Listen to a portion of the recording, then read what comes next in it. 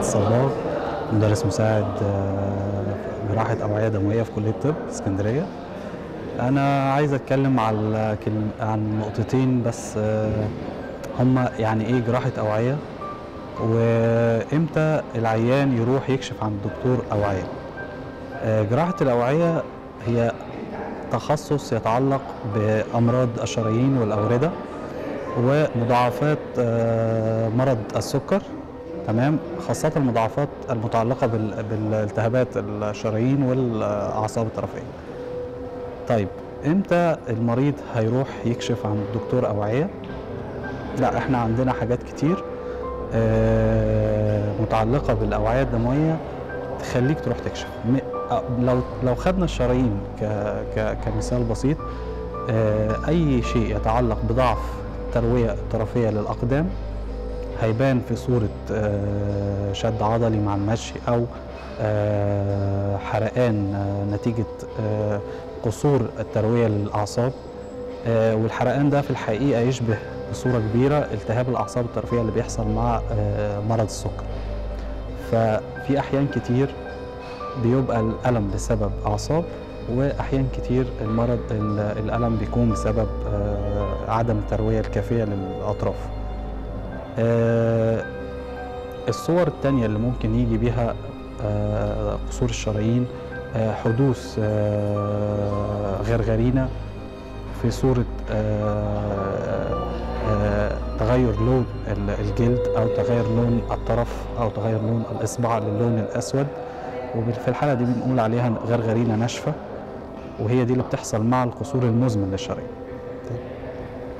في غرغرينة تانية بتحصل مع القدم السكري وهي الغرغرينة الطرية أو الغرغرينة اللي بتبقى مصاحبة ل- آه، لوجود آه، ميكروب في في الرجل.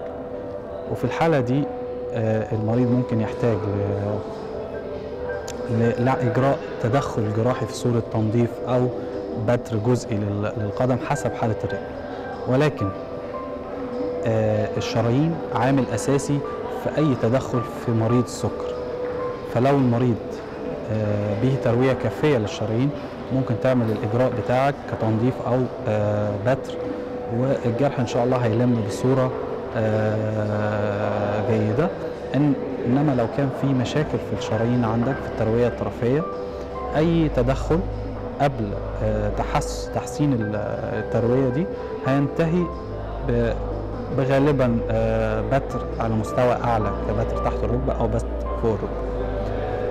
الحاجات التانية اللي تخص مرضى الأوعية أو آه، تخصص جراحة الأوعية طبعا التمددات الشريانية سواء في الطرفية أو في الشريان الأورطي آه، أو قصور الشرايين اللي يحدث في ال- آه، ال- الشرايين ال- آه، شرايين الأحشاء كشرايين المغذية للأمعاء. في الحالة دي المريض هيعاني من آه، ألم بعد الأكل. آه، لدرجة إن هو هيبقى العيان خايف ياكل فيحصل له آه، نقص في الوزن. بعض آه، ال- الجراحين ما بيفكروش في في إن السبب يكون عدم تروية للأمعاء. قد يكون أي مرض آخر متخصص أو خاص بالجهاز الهضمي.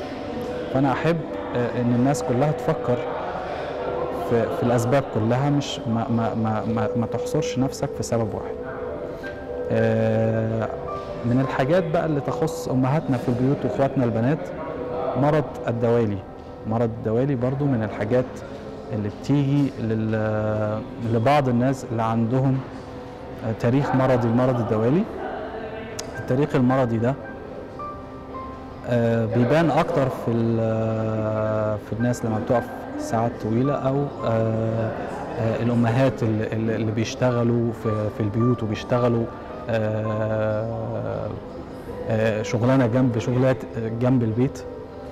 فبيعاني من ظهور بعض ال- العروق أو بعض ال- ال- الأوردة في الساقين. قد تكون في صورة شعيرات قد تكون في صورة أوردة كبيرة. دي بنقول عليها الدوالي تمام؟ أحيانا الدوالي بتيجي بمنظر فقط مش عاجبنا وأحيانا بيبقى مصاحب ليها بعض الأعراض مثل ثقل ال- ال- الساقين مع الوقفة كتير أو أحيانا كمان شد العضل بيحصل مع الوقفة كتير أو مع بداية المشي في هذه الحالة برضو ال- الأم أو ال- المدام دي بتحتاج إنها تستشير دكتور الأوعية الدموية عشان يحدد إيه سبب المشكلة وإيه كيفية علاجها.